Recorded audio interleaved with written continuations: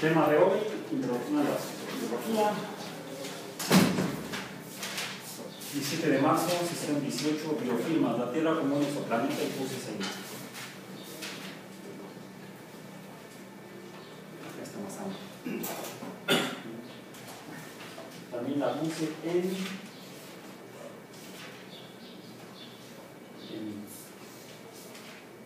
Facebook. Ya nos está cargando. Debería porque me conecté hace rato. Estoy conectado. Efectivamente, sí. Ah, los cristianos celebran el día de San Patricio, el santo patrono de los irlandeses. Por eso el arbolito y verde. Sí, por San Patricio. ¿Por qué el trevo? No sé. Lo curioso es que es un trevo de cuatro hojas, los cuales no existen. Este, grupos. Introducción a la. Y aquí está, lo mismo. 17 de marzo, sesión 18, biofirmas, la Tierra como un exoplaneta. Y la misma imagen. Ahí está.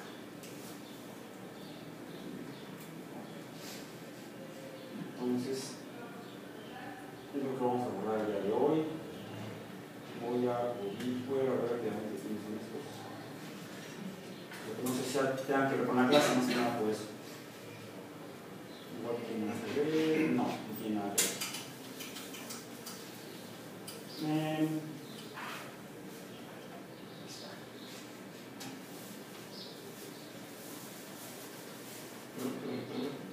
Introducción a la astrología. Y es febrero, febrero, marzo 7, marzo 17, marzo, marzo 17.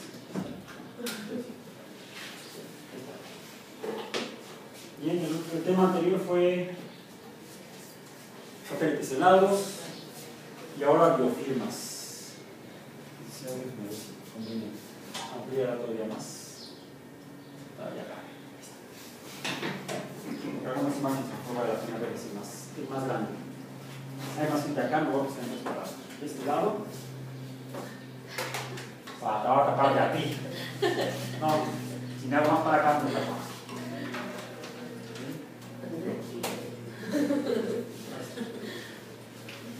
Entonces, eh,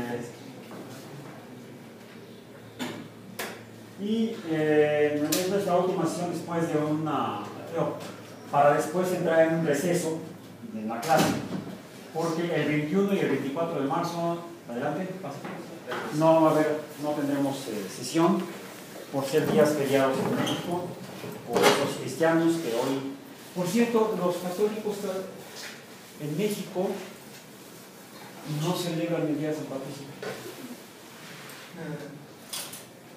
No. Y es uno de los santos eh, que profesan o que veneran, que veneran los católicos más eh, tradicionales, más antiguos, y en uno de los países de profesión católica más arraigada, aunque no de los más antiguos. De hecho, fue después de la.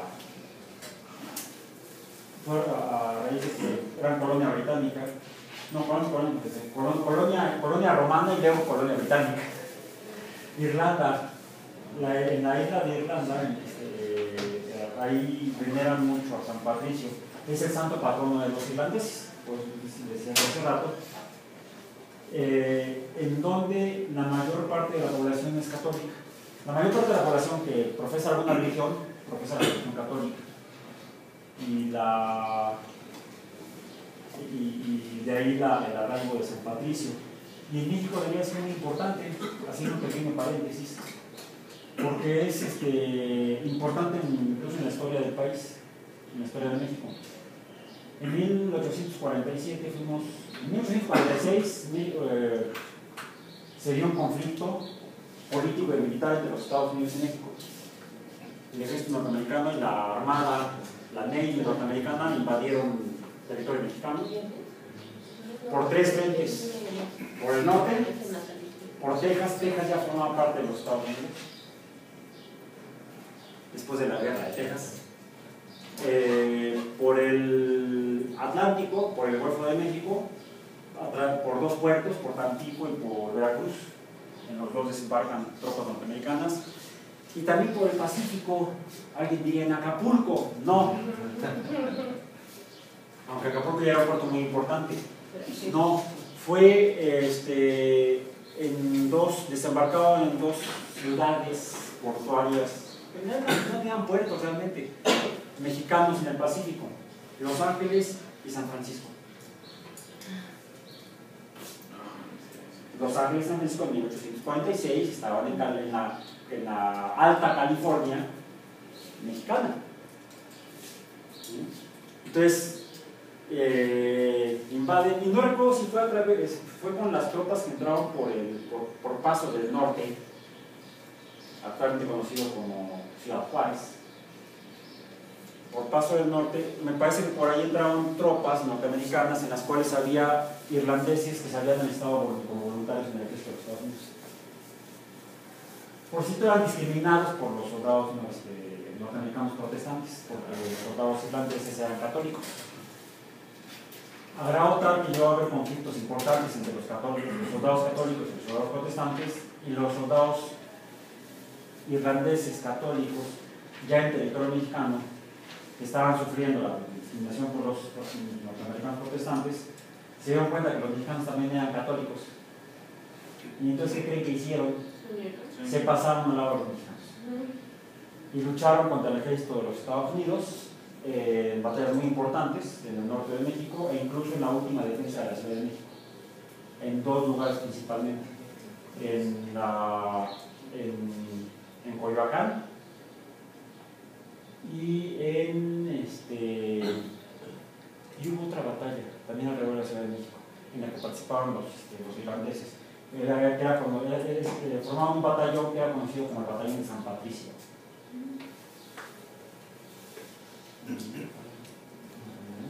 y hay un monumento a ellos, precisamente en el parque de San Jacinto, en San Ángel. Entonces, son importantes. Entonces, es importante recordarlo como mexicano. Bien, entonces, este, vamos a tener la Santa Semana. Y en la UAM somos ateos.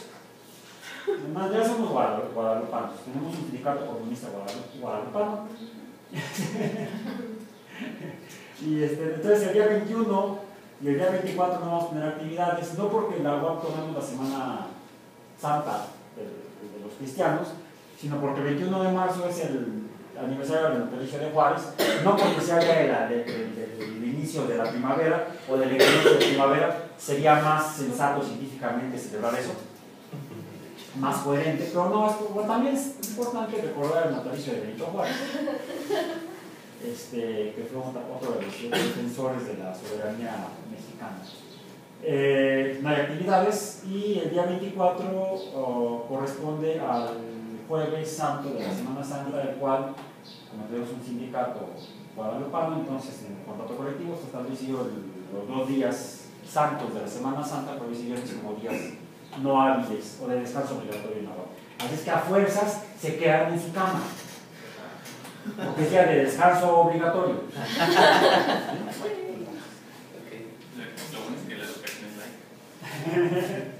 okay. Y nos veremos entonces hasta el día 28 para continuar. ¿Bien? Por lo pronto vamos a ver qué carambas es eso de las biofirmas y por qué la Tierra como un exoplaneta. ¿Por qué la Tierra como un exoplaneta? Vayamos entonces a nuestra presentación. Nuestra presentación del día de hoy. Ya mencionamos el título. Biofirmas y la Tierra como un exoplaneta. Ok. La Tierra. Voy a apagar la luz para pensar en ti, en la Tierra. Eh, pues veamos a la Tierra. Esta es una vista tomada en algún lugar, una fotografía tomada en algún lugar de la Tierra. Ah, ya sé dónde, dónde y cuándo fue tomada esa fotografía. Bueno, es algún lugar costero y podría ser Hawái, en el Pacífico. Hay mucha agua, es más probable que sea ahí, porque es más, hay más agua que en otros lugares de la Tierra. Sin embargo, no sería seguro, necesitaríamos alguna otra pista.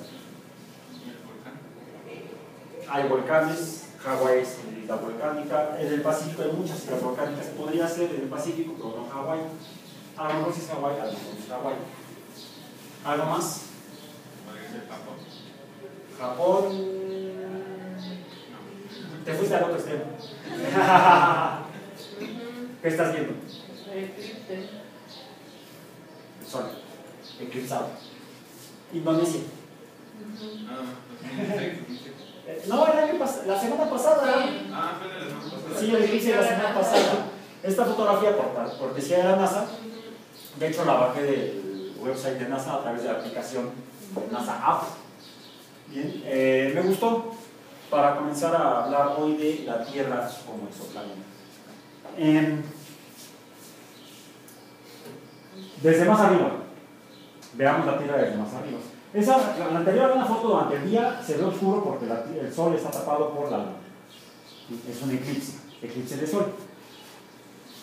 Em, si nos vamos más arriba, pues vemos la Tierra, literalmente, la Tierra.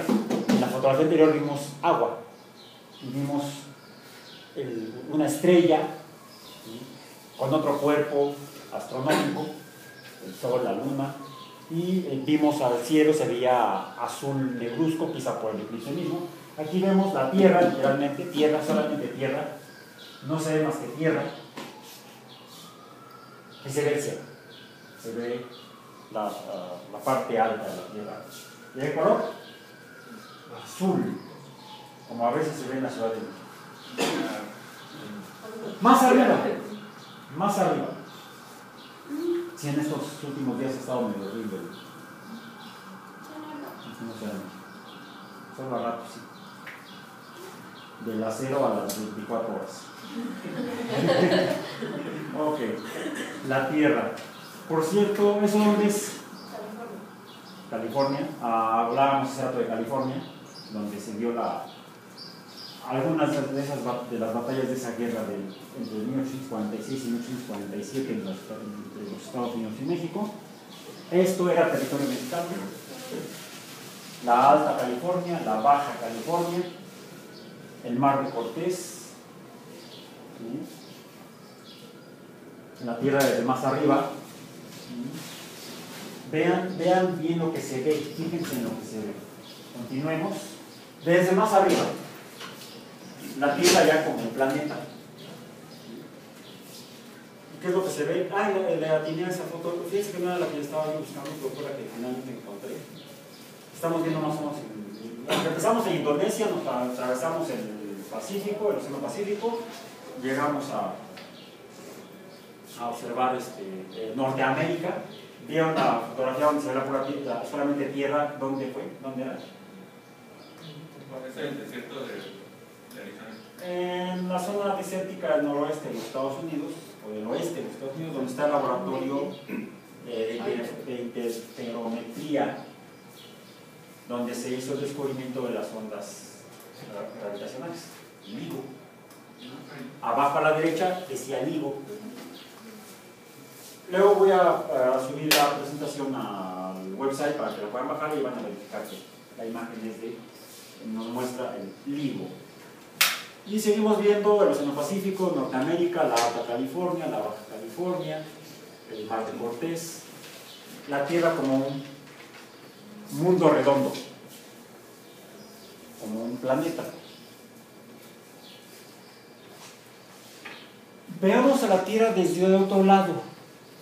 Ya la vimos de- desde el nivel del suelo, más arriba, más arriba, más lejos, digamos, la Tierra como un planeta, como un planeta porque es un cuerpo eh, de, de materia masivo, suficiente masa para darle forma esferoide, y que orbita alrededor de una estrella, siendo el principal cuerpo en esa trayectoria orbital. Es un planeta. La Tierra es un planeta. Pero si lo vemos desde más allá, desde más lejos, ¿desde dónde? Desde cualquier lugar de la, desde cualquier otro lugar de la galaxia, de la Vía Láctea. Aquí está la Milky Way. No es solamente una marca de chocolates. Eh, la Vía Láctea, y si vemos a el- la Tierra desde cualquier otro lugar, pues sería un planeta orbitando alrededor de una estrella en la galaxia de la Láctea. Y quizás nos podemos estar en algún otro lugar, ser- seres vivos, sea, que estornudan, en cualquier otro lugar de la Vía Láctea. Y quisiéramos averiguar si hay otros seres vivos en ese conjunto de estrellas llamado galaxia Vía Láctea. Por cierto, habría, no sabríamos, pero habría otro lugar en esa galaxia, en ese conjunto de estrellas, al cual, en el cual hay seres vivos, dicen que son inteligentes, y que le llaman a su lugar, la Tierra, le llaman a ese conjunto de estrellas en el que se encuentra ese lugar donde viven, le llaman Vía Láctea, y dicen que son, es una de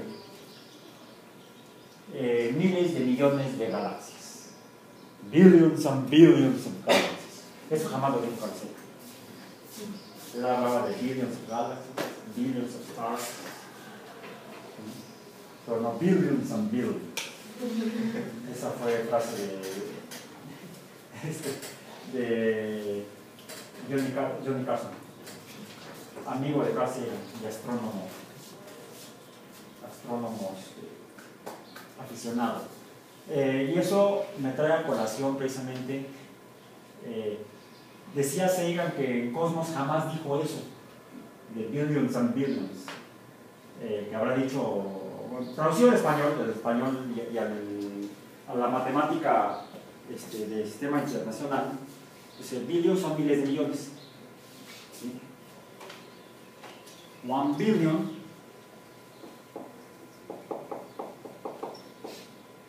es en español y en sistema internacional son mil millones.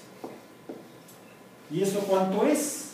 Son muchos ceros, espero que no tantos como en- no deben ser de esta cantidad en las boletas de los estudiantes.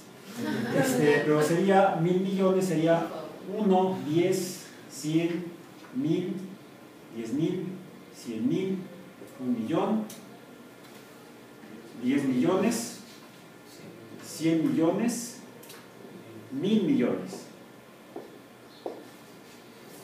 Pero son mil millones. O un millar de millones. Eso es en inglés anglosajón norteamericano one billion. Porque los, británicos, los irlandeses por ejemplo, incluso los irlandeses que no son británicos, porque los únicos irlandeses que son británicos son los de Irlanda del Norte, los de la República de Irlanda son irlandeses. Eh, y no son este, súbditos de la corona británica, ah, le llaman a esto thousand millions, mil millones. Entonces los únicos que le dicen billion a estos son los de vecinos del norte, no los de Lindavista, son otros vecinos del norte. Este, y entonces eh, decía Sagan que en Cosmos él jamás dijo la frase de, eh, lo voy a poner incluso en color para que se distinga, y la voy a poner entrecomillada, de billions and billions. Esta fue una frase de Johnny Carson, no de Carl Sagan. Eh, y que en Cosmos nunca dijo eso, jamás, jamás, jamás lo dijo él. Y lo, lo patético es que la gente cuando lo conocía, veía en algún lugar, en algún bar, en algún avión, no sé, taxi, le decía, ay, por favor diga billions and billions. Yo nunca lo he dicho. Eso lo dijo. Eso lo dijo eh, Johnny Carson. Eh, y aquí viene a colación porque espero que lo podamos ver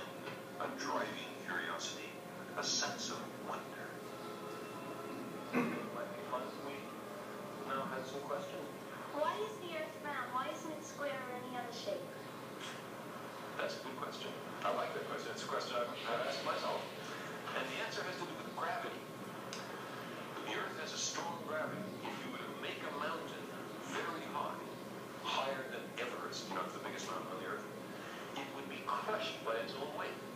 You see, gravity pulls everything towards the center. So any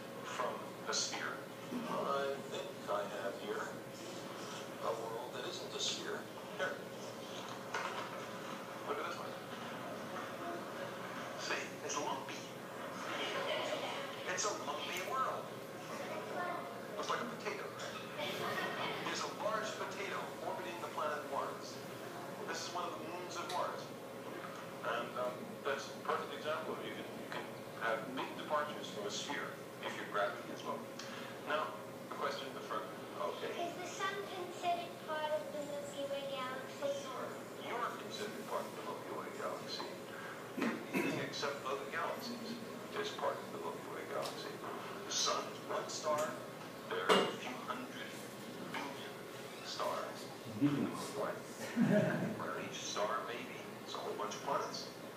And uh, on one of those planets is life, and one of the life forms on that planet is you. So you're a part of the Milky Way galaxy.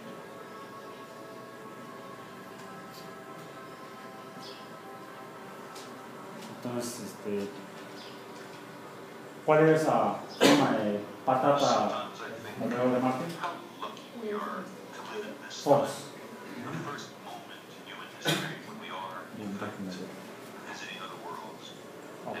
Le voy a adelantar un poco para llegar a la parte que me interesa en función del tema de hoy. Ah, aquí está, ya me pasé. Ah, igual me regresaba casi donde estábamos.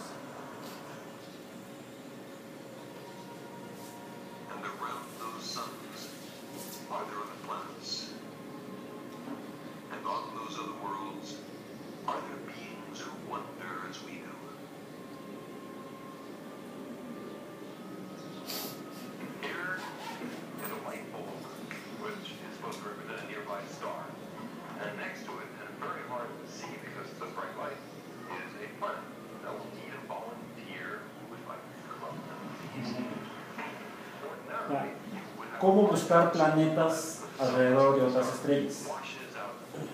1980.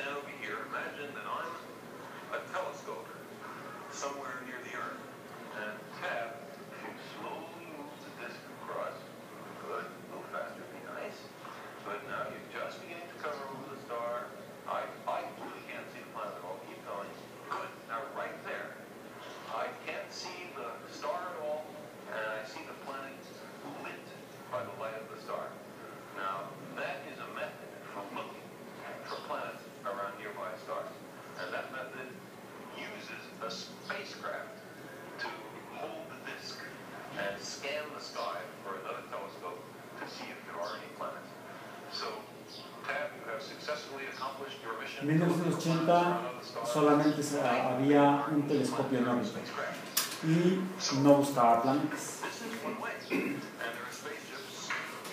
O sea, en ese momento era solamente una idea, una hipótesis, un modelo experimental.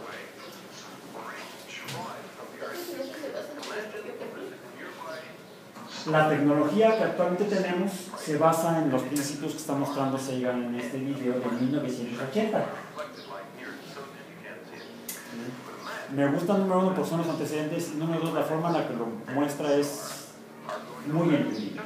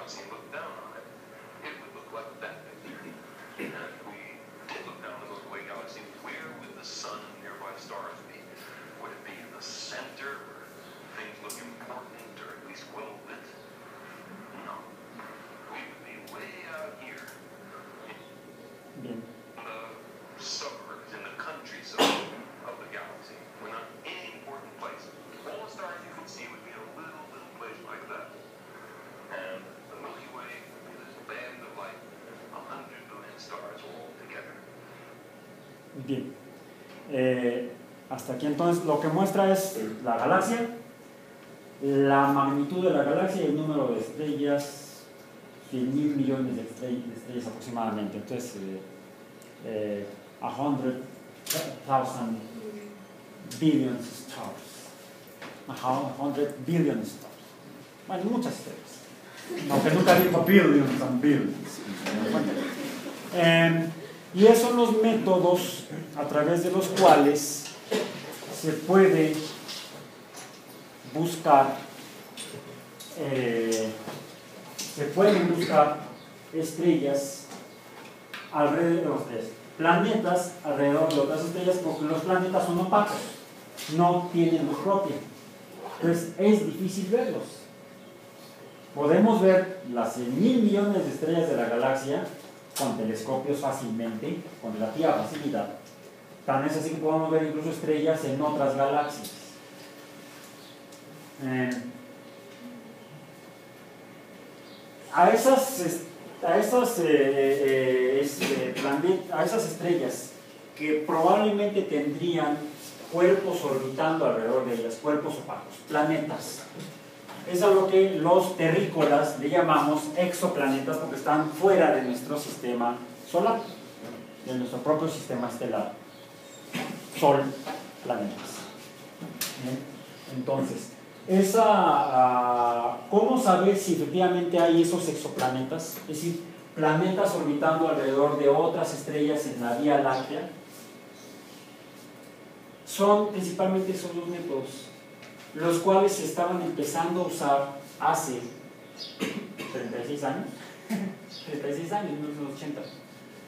Eh, y me llama la atención, eh, en particular, este, este, este corto de, este capítulo de Cosmos, un viaje personal, por Carl Sagan en 1980, porque lo, lo, grabó, lo filmaron en la misma aula, en el mismo salón, donde Carl Sagan estudió la, el sexto de primaria en los Estados Unidos.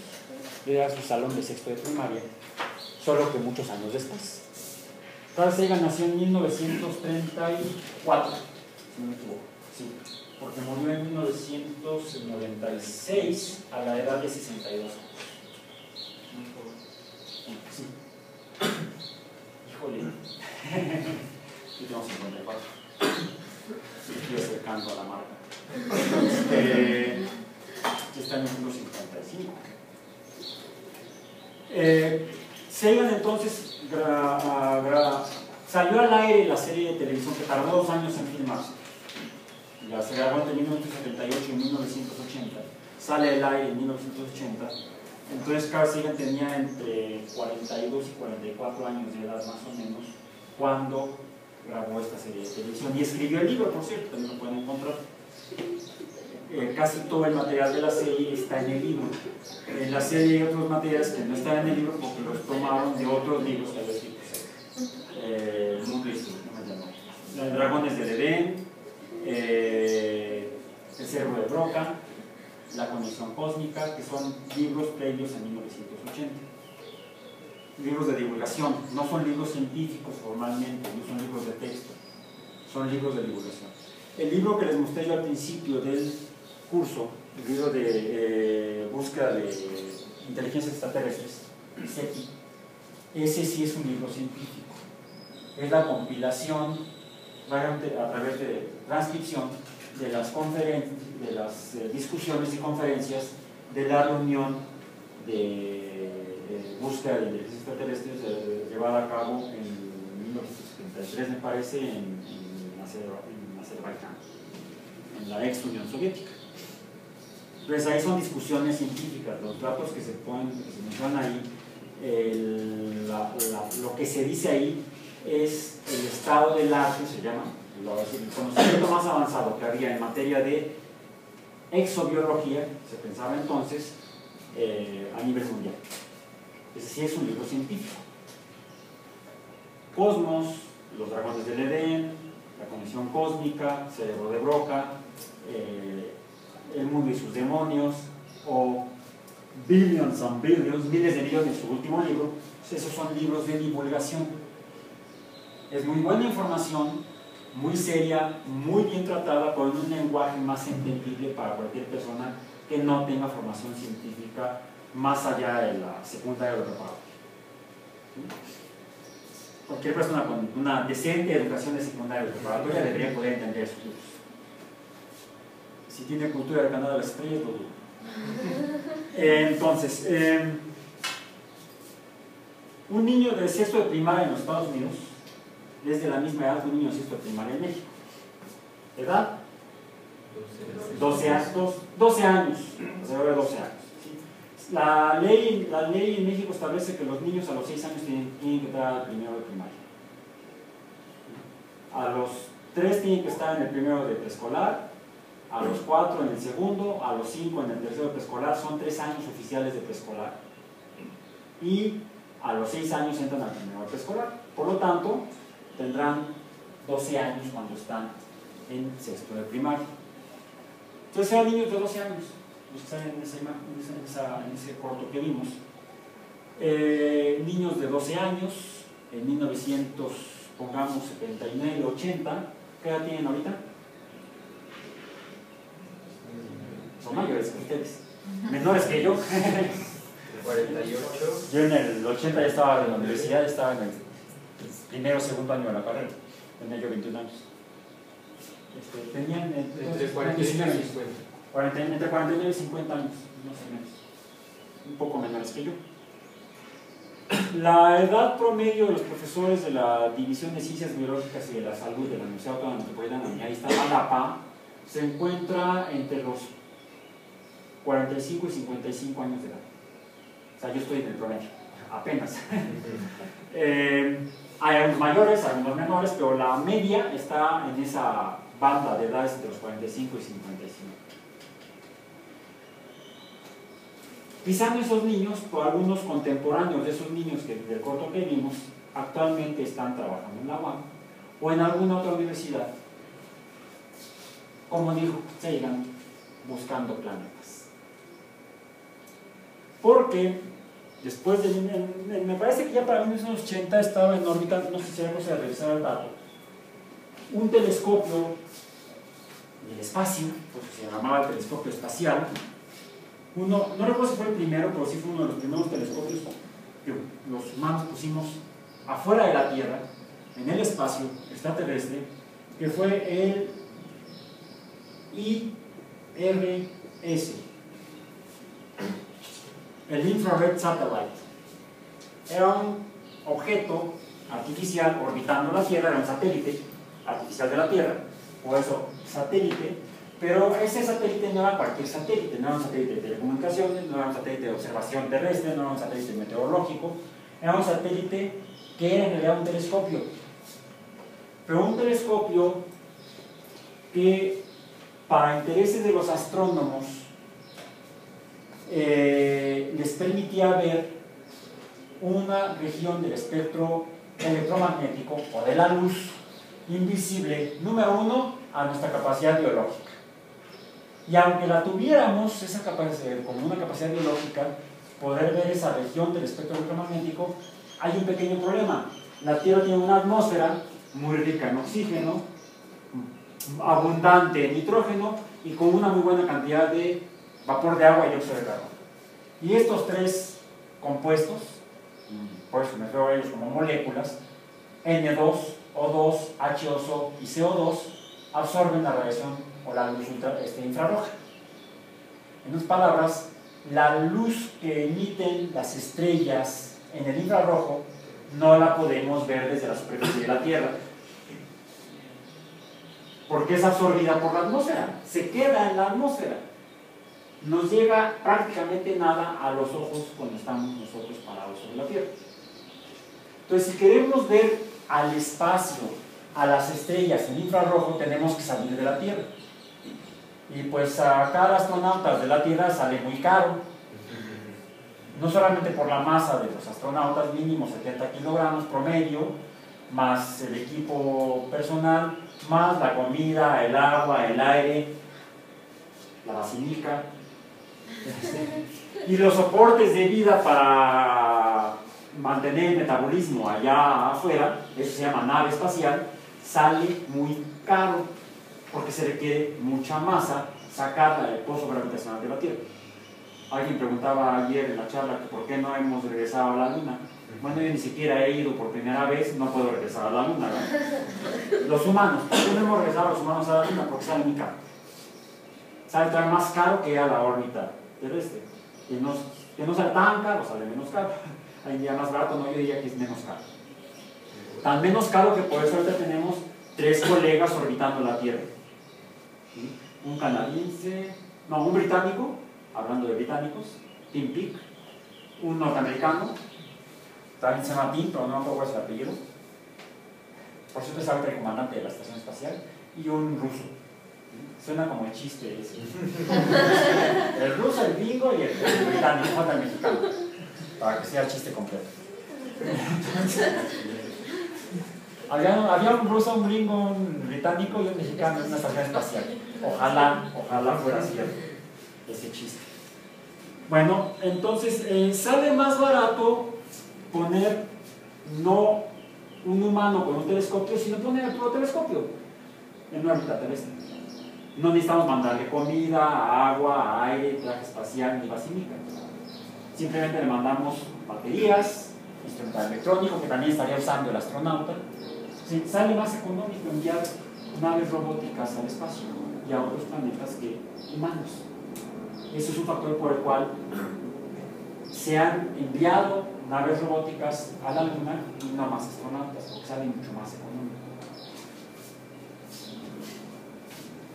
Eh, entonces, el IRS fue el primer, fue uno de los, si no el primero, fue uno de los primeros satélites observacionales del espacio eh, eh, puestos en órbita por los humanos. Y lo que observaba el infrarrojo principalmente de cuerpos estelares, estelares, estrellas y galaxias, fue lo que principalmente se, se- se buscaba observar, no planetas. Y ese fue a principios de los 80. A partir de ahí se empezó a desarrollar más tecnología eh, astronómica para ponerla en órbita, para buscar ahora sí, ya no solamente qué más hay en las estrellas, en las estrellas mismas o en las galaxias, sino ya se planteaba la pregunta, ¿habrá otros planetas alrededor de otras estrellas desde, la, desde el planteamiento de la ecuación de Drake a principios de los 60 por Frank Drake? La- en 1980 no había ni siquiera una estimación con un solo dato para la ecuación de Drake, todo eran suposiciones. Se empezó a, se empezó a usar, se empezaron a esas dos técnicas con telescopios basados en tierra. Se les llama a cualquier telescopio que tengamos con su trípode o su torre aquí en la Tierra. Eh, telescopios basados en tierra. Con los mismos principios, ¿no? tratando de ocultar la- el brillo de una estrella y ver si había algo que surgiera con un brillo mucho menor. Y con observaciones a lo largo del tiempo en la trayectoria de una estrella en su eh, órbita, órbita alrededor de la galaxia, lo que se buscaba es que la estrella, en lugar de hacer una trayectoria de este tipo, hiciera una trayectoria más bien, lo voy a pintar en otro color, en verde, hiciera una trayectoria, digamos, vamos a hacerla así, de este estilo. Lo que ya nos hablaría de que hay algún cuerpo que la está perturbando en su trayectoria orbital. Para eso tenía que ser, tenía que ser un cuerpo con masa suficiente para que la perturbación en la trayectoria fuera suficientemente grande para que se pudiera percibir desde un telescopio basado en tierra. Por cierto, tenían que ser telescopios grandes. Afortunadamente se empezaron a construir telescopios más grandes en diferentes lugares del mundo. Ya por muchas décadas el telescopio más grande fue el telescopio de 2 metros, no de 5 metros, este, en el Monte Palomar. Ya se construyeron telescopios de mayores dimensiones. Otra trayectoria es, como se vio en el video, sería una trayectoria más o menos de este estilo. Cualquiera de estas dos formas de trayectoria nos estarían eh, hablando de grandes cuerpos masivos opacos orbitando alrededor de, de la estrella observada. ¿Qué tan masivos? Pues por lo menos del tamaño de Júpiter, por lo menos. Que tienen que ser más grandes. Y efectivamente, me parece que por ahí en 1985, cinco años después de Cosmos, se publicó en Science el hallazgo, el aparente hallazgo, el muy probable hallazgo, por, observaciones de este, de este tipo, de una estrella orbitando alrededor de, eh, bueno, un planeta orbitando alrededor de una estrella en la constelación del Cisne. Después se confirmó lo mismo para Sirio. Y así se empezaron a encontrar las primeras evidencias que sugerían la existencia de planetas orbitando alrededor de estrellas, solo que eran planetas demasiado grandes para poder empezar a pensar en ellos en, ah, a lo mejor hay vida como en la Tierra. No, porque para que hubiera vida como en la Tierra tendrían que ser planetas al menos de masas parecidas a las de la Tierra. No tan masivos como Júpiter, porque ahora sabemos, aunque es sugestivo el que pudiera haber alguna forma de vida en las nubes más superficiales de Júpiter, pues es un poco difícil pensarlo desde un, punto, desde un punto de vista biológico porque se requiere algún sustrato en el cual se catalicen las reacciones químicas abióticas que darán posteriormente lugar a biomoléculas que pudieran llevar, por supuesto, posteriormente al desarrollo de algún metabolismo primigenio. Hoy en día, por ejemplo, sabemos que en algunas arcillas estén humedecidas, no tiene que haber agua abundante, si agua líquida pero no abundante, pueden llevarse a cabo reacciones en las cuales las arcillas mismas funcionan como catalizadores para polimerizar moléculas de carbono. Entonces, pensando en reacciones abióticas para síntesis de biomoléculas, se requieren sustratos al menos parcialmente sólidos. Lo que hace suponer entonces que ese primer artículo publicado por Salpeter y Sagan, en el que especulaban sobre probables formas de vida en Júpiter, sería una muy interesante especulación solar. Y con pocas, actualmente con pocas bases en cuanto a lo que sabemos de la química de las reacciones abióticas. Entonces, el hecho es que en la década de los 80 se, habrán sido grandes, demasiado masivos los planetas y quizá estilo Júpiter, pero al menos ya se pudo confirmar la existencia de planetas alrededor de otras estrellas, exoplanetas. Y uh, julio 23 del año pasado, hace poco más de seis meses, esta era la cantidad de ya no planetas del tamaño de Júpiter, sino planetas de dimensiones similares a la Tierra, uno, o más grandes que la Tierra, digamos entre un rango de 15, porque la escala es logarítmica, sería, aquí sería 10, sería 15, aquí sería como, ya como 50, entre la, mitad y 50 veces el radio terrestre. Identificados o probablemente identificables por el telescopio con fines de búsqueda de exoplanetas más importante y hasta ahorita el único que formalmente se ha construido para esos fines. Aunque se están usando otros telescopios posteriores a IRS que observan en el visible y algunas regiones cercanas, como el ultravioleta, como el telescopio Hubble, para poder buscar planetas alrededor de otras estrellas. En palabras, exoplanetas. Estos son en particular datos de Kepler, se llaman por eso planetas Kepler o keplerianos por el telescopio que lo está buscando, que se ha usado principalmente para búsqueda de exoplanetas.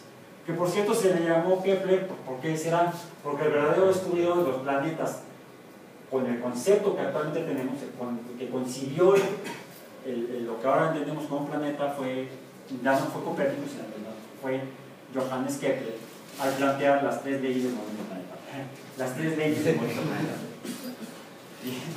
Entonces, el telescopio Kepler es un telescopio construido específicamente para búsqueda de planetas, no como el IRS. El IRS era para buscar eh, información o, poder ver al cielo, a, las estrellas y a las galaxias con infrarrojo.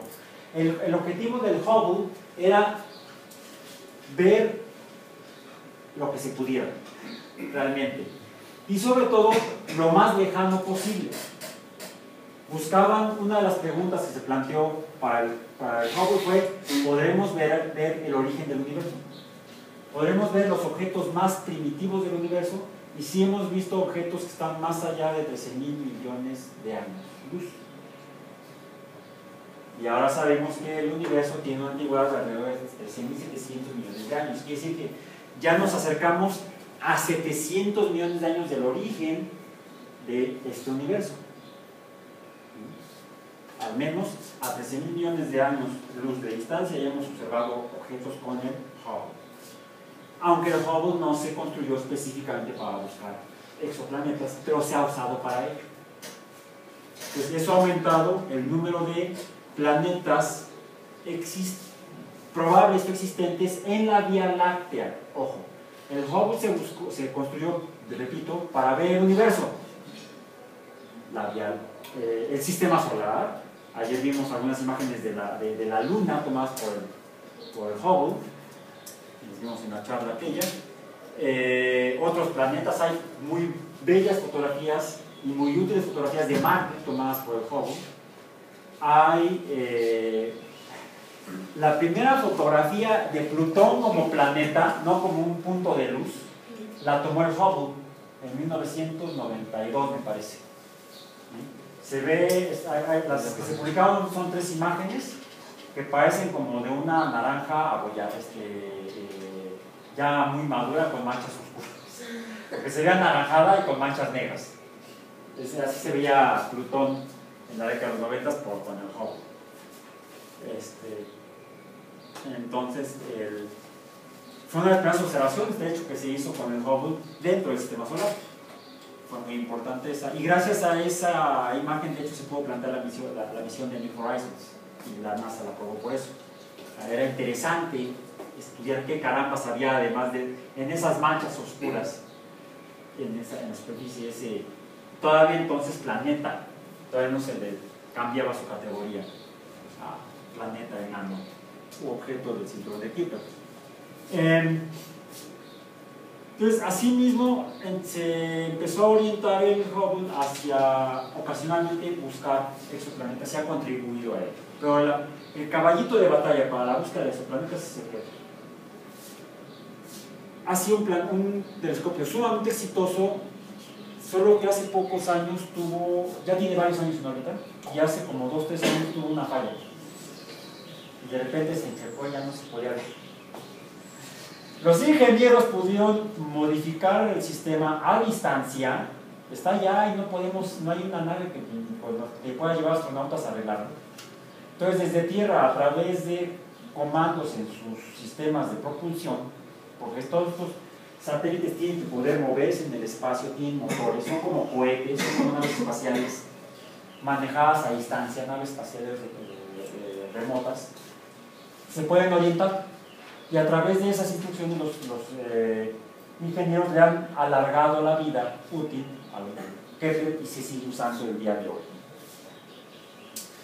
Entonces, el Kepler no solamente puede identificar objetos, y desde la Tierra también los telescopios que están usando cada vez más telescopios, incluso en México, telescopios para buscar exoplanetas, eh, no solamente pueden identificar esos movimientos bamboleantes en las estrellas, sino que pueden, a partir sobre todo del, del... Hay otro método, hay otro método, que es el método, no, que imagen, esta imagen, voy a incluir en la presentación, la voy a incluir antes de subirla a- a- al website, esa imagen la yo aquí. Hay un tercer método que no, no, mencionó Sagan para la búsqueda de planetas alrededor de estrellas. Y es un método muy antiguo, eh, concebido por Edmund Halley, astrónomo amigo de eh, amigo y patrocinador de Isaac Newton. ¿Qué es este método? Recuerdan, ya les había mostrado esta imagen. Es la imagen que yo tomé de el sol. Tú no eclipsado porque él está muy chiquito. Eclipsado es así. Ahí está. ¿Lo ven? Ya no lo ven. Lo estoy eclipsando. Lo estoy eclipsando. Un eclipse parcial.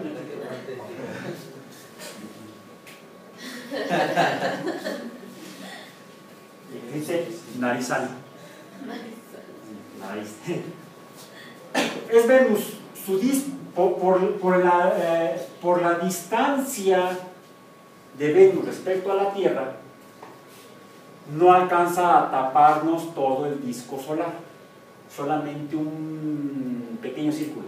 Y podemos ver cómo ese pequeño círculo negro que es Venus, no es la sombra de Venus, es Venus atravesándose frente a nosotros, podemos ver cómo atraviesa el disco solar.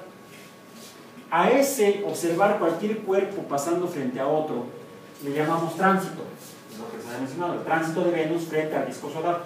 Eso ya lo había concebido Halley en el siglo XVIII. Y pronóstico Halley eh, estableció a través de la matemática de Newton y los modelos de Newton la posibilidad de observar el tránsito de Venus en diferentes épocas dependiendo de la, de la- de la determinación de la trayectoria orbital de Venus, vista desde la Tierra. Entonces, aunque ya no lo pudo ver eh, Halley porque murió antes, eh, gracias a sus, a sus predicciones matemáticas se pudo hacer la primera observación astronómica y telescópica del, de- del tránsito de Venus a través del disco solar. Y periódicamente se anuncia a los astrónomos, sobre todo los astrónomos aficionados, anuncian, tal día va a haber tránsito de Venus, preparen sus telescopios, este fue en 1900, no, en 2012, 2012 fue el tránsito, que pudimos ver. Afortunadamente pudimos ver porque se estaba nublado, todo el día estuvo nublado, de repente se abrió un poquito, y en ese momento ya tenía mi cámara montada, y ahora es cuando. Pude tomar varias fotos y esto la mejor. Pero el próximo tránsito va a ser hasta 2114 por ahí. Dudo que lo veamos. Lo que sí podemos ver, bueno, los astrónomos, y si los visitamos, quizás nos dejen ver también con ellos telescopios. La tercera técnica es observar el tránsito de exoplanetas a, través del disco de, sus, de las estrellas vistas desde la Tierra. Ya hay telescopios que permiten usar esto como una técnica para la detección de exoplanetas. Entonces son tres técnicas. El bamboleo gravitacional, eh, el eclipse artificial y el tránsito planetario. A ver, serán tres técnicas. Llamémosles así. El bamboleo gravitacional, que es la perturbación de la, de la trayectoria de la estrella desde nuestra vista. Vemos que no va en una trayectoria lineal, sino que va ondulando, bamboleándose. No le podemos llamar ah, ondulatoria, trayectoria ondulatoria, porque dependiendo de la frecuencia orbital, va a darnos o un loop, una curva con asas, o una onda efectivamente. Depende del periodo orbital del planeta y de la estrella alrededor de su centro de gravedad común. Por eso sucede ese movimiento bamboleante, porque no es que el planeta esté orbitando exactamente alrededor del centro de la estrella, del centro de masa de la estrella, sino que el centro de masa, debido a que el planeta es suficientemente masivo, hace que el centro de masa de ambos cuerpos esté desplazado hacia afuera del cuerpo, el cuerpo masivo de la estrella. Y entonces tanto la estrella como el planeta giran alrededor del centro de masa común, como vimos que se desplaza Plutón.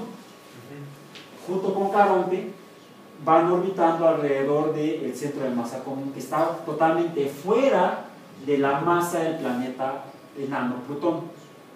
En el caso de la Tierra, por ejemplo, el centro de masa de la Tierra y la Luna está fuera del centro geométrico de la Tierra. No está en el centro de la Tierra, el centro de masa del sistema Tierra-Luna. Está desplazado hacia unos pocos kilómetros fuera del centro de la Tierra, en dirección radial. Entonces, en realidad, la Tierra también se va bamboleando por la presencia de la masa de la, de la Luna que atrae a la masa y saca el centro de masa fuera del centro de la Tierra. Entonces, la Tierra también no tiene una trayectoria ni siquiera elíptica alrededor del Sol, sino que tiene una trayectoria ondulatoria, elipsoide alrededor del Sol, porque no este, va en una línea este, elíptica, sino que va bamboleándose a lo largo de esa elipse. Bueno, se puede observar en las estrellas la trayectoria bamboleante que, que sugiere que hay una masa muy grande junto con esa estrella. Ergo un planeta. Técnica número uno. Técnica número dos, el eclipse. Ponemos una, un cuerpo que tape y entonces el planeta se ve, este, se puede ver porque la luz lo... eh, aquí me tapo, acá me tapo y acá estoy usando bueno, por las venas de menos acá. Pero entonces podrían ver ustedes el brillo de la punta de mi dedo. ¿Sí? Ok. Eh, y el otro es el tránsito. Son las tres técnicas con las que se buscan los. Vayamos a lo que sí. Eh, ok. Entonces, me salgo de aquí, de las imágenes y me regreso a la, a la presentación. Ok. Bien. Entonces, no solamente se pueden entonces detectar a través de estas técnicas la posición del planeta, sino gracias a la técnica del eclipse y a la técnica de la, este, lo he con las tres, con las tres, se puede estimar la distancia orbital de la estrella, del planeta a la estrella. Y como se puede conocer a través de las técnicas espectroscópicas la composición y la temperatura de la estrella, o a través de la, de la temperatura de la estrella se puede estimar su composición, se puede calcular el- la emisión de energía por parte de la estrella. Es decir, la brillantez o el calor que emite. Y a través de eso se puede calcular eh, dónde se encuentra la zona habitable alrededor de esa estrella. Entonces se puede determinar, número uno, la distancia orbital de la estrella, del, del planeta a la estrella, del exoplaneta a su estrella. Y conociendo la magnitud de la estrella, se puede calcular la posición o la distancia de la zona habitable respecto a la estrella. Y se puede entonces estimar si el planeta identificado está dentro o fuera de la zona habitable. Entonces ya tenemos un parámetro más para saber si pudiera haber un planeta que podría ser habitable. Está habitado, no sabemos, pero al menos está en un lugar donde por temperatura sería factible que si hay agua, esa agua fuera líquida. Si además de agua, eh, esa agua es líquida y está en un intervalo de temperaturas que permitiría que se llevaran a cabo reacciones químicas que dieran lugar a un metabolismo. Entonces, ya nos permite empezar a suponer, a especular que podría, ese planeta podría tener formas de vida presentes. No podemos saber si hay formas de vida. Podemos saber que existe la posibilidad física de que hubiera formas de vida. Física porque estamos hablando de factores físicos, temperatura, físico-químicos, humedad. ¿Mm? Vayamos a lo que sigue. Y la otra es la masa. Cierto, si son muy grandes, podrían ser quizá planetas gaseosos como los planetas gigantes del sistema solar. Y además, la temperatura depende de la masa del planeta. La temperatura del planeta también depende de la masa del planeta. Entonces son varios factores. Lo que necesitamos considerar no solamente el tipo de estrella, sino la masa del planeta para poder suponer el tipo de planeta que es. Y entonces, si sería más factible o menos factible, más probable o menos probable que pudiera haber condiciones apropiadas para que pudiera, como se son muchos, pudiera haber vida. Es el- lo interesante y el problema de la astrobiología. Es una ciencia especulativa. Ojo, no fantasiosa, ni para andarse tronándolo con algo. Entonces, he aquí cuatro, cuatro eh, concepciones artísticas, como los imagina algún dibujante o pintor, a partir de la información que le da el astrofísico, ¿cómo imagina que pudieran ser cuatro candidatos a planetas identificados en estas fechas? Diciembre de 2011, el Kepler 20e, diciembre de 2011, mismo mes, mismo año, Kepler 22d, eh, abril de 2014, Kepler 186i y eh, julio de 2015, menos un año, Kepler 452b. ¿Vieron la, la imagen anterior en la que se ven los planetas y candidatos a planetas? Ya, de ahí los números. Ya no solamente hemos pasado mucho, hemos viajado mucho y aprendido mucho desde la década de los 80, hace más de 30 años. Cuando estábamos buscando el primer exoplaneta y cuando finalmente hallamos el primer exoplaneta, sino que ahora estamos hablando ya del orden de 10 a la 3 exoplanetas conocidos y verificados. Más de mil planetas conocidos en el sistema, no en el sistema solar, en el sistema Vía Láctea, en la galaxia de la Vía Láctea. Si hay 100 mil millones de estrellas en la Vía Láctea, sabemos, porque ya están identificados, que hay al menos 10 a la 3 miles de planetas. Y no se han explorado todas las estrellas que podrían tener planetas. Tiempo nos falta. Bueno, igual esos posibles seres que estuvieran en algún planeta, en otra estrella en el sistema solar, podrían estar haciendo lo mismo. En otra estrella, perdón, en la Vía Láctea, podrían estar buscando otras estrellas con planetas y podrían encontrar tal vez una estrella que va bamboleándose en su órbita alrededor del Sol, alrededor, de del centro de la Vía Láctea, este, alrededor del centro de la Vía Láctea, y eso haría suponer que entonces esa estrella va acompañada de al menos un planeta con suficiente masa para transformar su órbita de, solamente circular elíptica a una trayectoria bamboleante. Y quizá, porque también lo hemos hecho nosotros, hemos encontrado sistemas estelares con más de un exoplaneta. Hay algunos que nos han encontrado uno o dos exoplanetas. Bueno, en el sistema llama- que nosotros llamamos solar, hay al menos dos planetas suficientemente masivos como para perturbar la órbita de su estrella, llamada Sol. Y aquí vemos a uno de ellos, Saturno, visto desde fuera de este sistema estelar.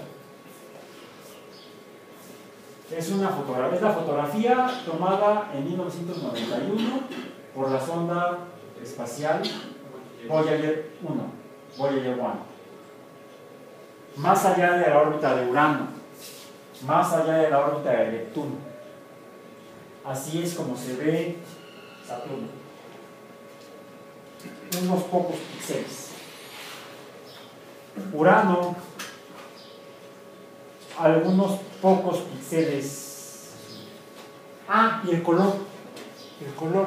Saturno se ve blanquecino en esta imagen. Y acá se ve, Urano se ve azul.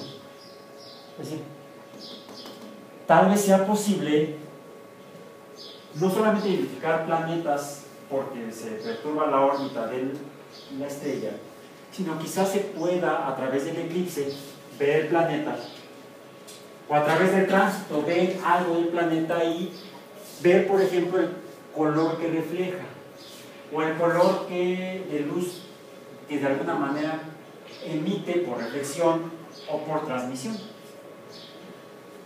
Urano se, Urano ve entonces azul. Lo que hice fue moverme hacia la izquierda de esta imagen. ¿sí? Ven estos cuadros acá. Lo que hizo la nave fue tomar varias fotos. Más o menos a lo largo de la que llamamos eclíptica. Ya llegamos a este cuadro de acá. Y buscamos más y encontramos por aquí J, Júpiter. De un color diferente al de Saturno y de un color diferente al de Urano. Por ahí también se veía Neptuno, No, no, no están las, las imágenes que les estoy mostrando.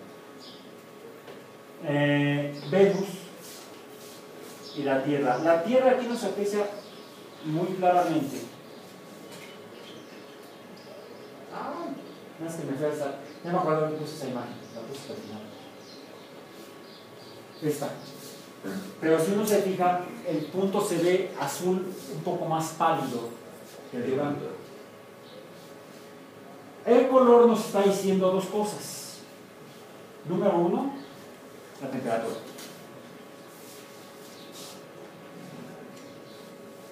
Temperatura.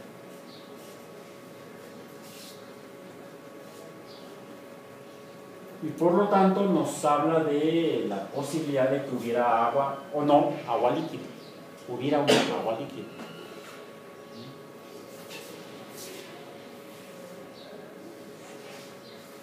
Pero también nos dice si es posible que hubiera, cómo podría ser su superficie, de qué está hecha su superficie y entonces, en temperatura, en qué estado físico se encuentra. La temperatura y el color de Urano nos sugiere que hay una masa gaseosa superficial. El detalle es cuando vemos, podemos estimar su masa, vemos que casi toda la masa gaseosa es casi todo el planeta. Y el otro cuerpo azul, pero menos azul, si fijan, se- es notable aquí la diferencia entre las intensidades del azul de este otro cuerpo azul.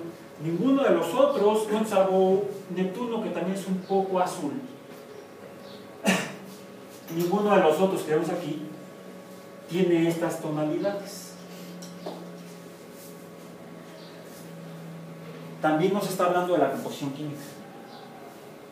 En el caso de este planeta girando alrededor de esa estrella, donde tiene un azul más pálido que el de Neptuno, el azul se debe a la posición en la que se encuentra, probablemente haya agua líquida, agua en estado de vapor, otros gases, los cuales podemos conocer si usamos la técnica de eh, difusión de la luz cuando pasa de la estrella a través del planeta y nosotros observando desde acá podemos hacer un análisis espectral de la luz que ha pasado a través de la masa gaseosa alrededor del planeta. A esa masa gaseosa la llamamos atmósfera. Podemos hacer un análisis espectral de la atmósfera de exoplanetas. Justo precisamente cuando el planeta se encuentra entre la estrella y la Tierra, la- en el tránsito, la luz de la estrella pasa a través de la atmósfera del planeta y podemos verla por nuestros telescopios y con nuestros espectrógrafos e identificar la composición química de la atmósfera del exoplaneta. La composición química de la atmósfera del exoplaneta nos dirá qué elementos químicos hay.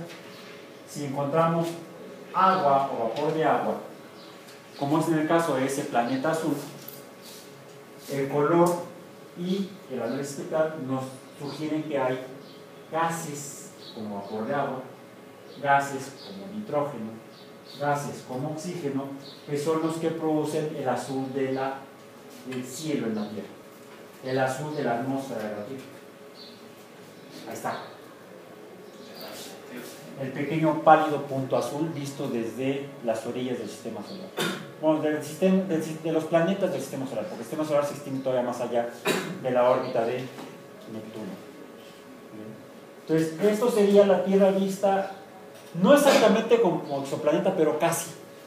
La Tierra vista desde más allá.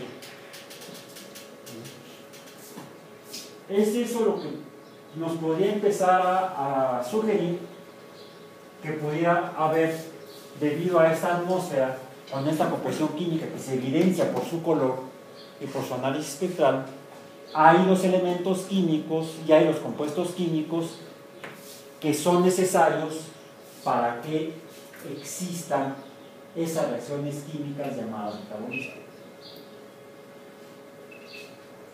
Necesitamos los análisis espectrales de las bandas de absorción, son los que nos informan la composición química nos permite distinguir entre los planetas que vimos que tienen diferente color de reflexión. Vimos que había algunos azules, unos cafés, unos rojos. Y junto con el espectro nos están dando información del tipo de atmósfera que hay. Y podríamos estimar si esas atmósferas son primarias, secundarias o terciarias. Las atmósferas ahora sabemos que evolucionan, cambian con el tiempo. La pregunta es, ¿qué está causando esos cambios? Si son fenómenos geológicos, que a su vez podrían estar cambiando, podrían estar alterando la superficie del planeta, los cuales estarían provocando, por ejemplo, la formación de eh, estructuras geológicas que sugerirían la presencia de metabolismo.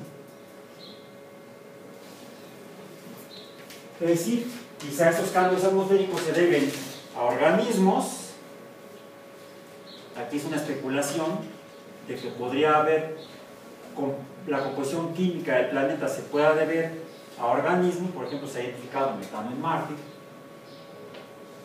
pero no estamos seguros de que sea causado por organismos o por causas naturales, no biológicas, que pueden ser tanto reacciones fotoquímicas ¿sí? provocadas por la, por la luz de la estrella que llega a la superficie del planeta e interactúa con los compuestos químicos del suelo, produciendo compuestos químicos como metano a través de reacciones correspondientes, o si fuera simplemente la emanación de estos compuestos que de manera natural, abiótica, existirían en el subsuelo o en, la parte, o en la parte subcortical del planeta y que por actividad volcánica podían estar modificando la atmósfera y pasándola de una atmósfera primaria a una secundaria o de una secundaria a una terciaria. Eso dependería de lo que haya debajo de la corteza.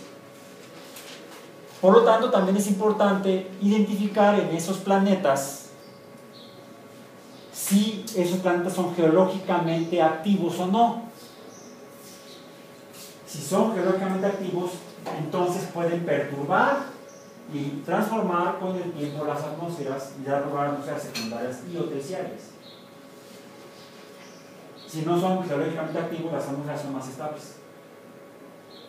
Y entonces, a su vez, nos reduce la posibilidad de que hubiera actividad metabólica. Porque como vimos anteriormente también, los cambios o provocados por las actividades, la, la actividad geológica de los cuerpos, sean planetas o satélites, son impulsores, por no llamarles catalizadores, de los procesos metabólicos. A través de ser tanto fuentes de energía como fuentes de compuestos químicos, pueden alimentar los procesos que dan lugar a vida y que incluso la em- empujan a ir cambiando en función del tiempo. La actividad geológica es fundamental en la evolución biológica. Es un motor de la evolución biológica. Finalmente, la última huella o firma que nos sugiere que hay formas de vida en un cuerpo astronómico en la Vía Láctea o en otras galaxias incluso, es no tanto la detección de compuestos químicos o incluso la detección de metabolismo, sino la emisión, la emisión de energía, en particular en la energía lumínica, pero no como luz visible, sino en el espectro de las ondas de radio. Es decir, la emisión de radioseñales. Producto de actividad ya no solamente biológica, sino tecnológica.